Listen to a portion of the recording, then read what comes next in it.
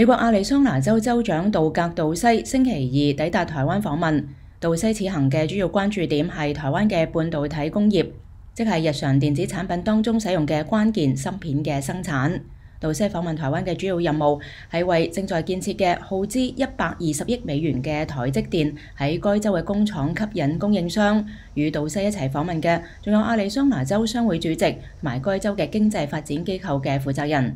台灣外交部喺一份聲明當中話，杜西將會會見台灣總統蔡英文、台灣商界領袖同埋半導體行業嘅代表。美國政府最近通過一項法律，加大咗美國半導體產業嘅支出，因此美國各州競商係吸引幾十億美元嘅芯片工廠嘅投資。上個星期，印第安納州州長訪問台灣，亦都係出於類似嘅目的。